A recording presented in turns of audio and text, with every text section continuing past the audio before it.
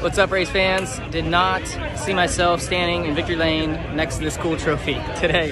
Uh, we had battery issues, had to come from the back so many different times, um, but my team, they kept their heads in it, stayed calm, got the work done to uh, get us repaired and out there and um, where we could compete hard. So uh, just hats off to everybody on our five team. Pretty unbelievable day. Like I said, I can't believe it. So um, cool to finish off this round with a win. Looking forward to next round got some good tracks coming up for us, and hopefully, you know, that some good runs that'll give us in the final four from Peterborough Championship. So, again, awesome day. Thanks all the fans. Thanks HendrickCars.com, Chevrolet, all of our partners. Uh, this is this is incredible.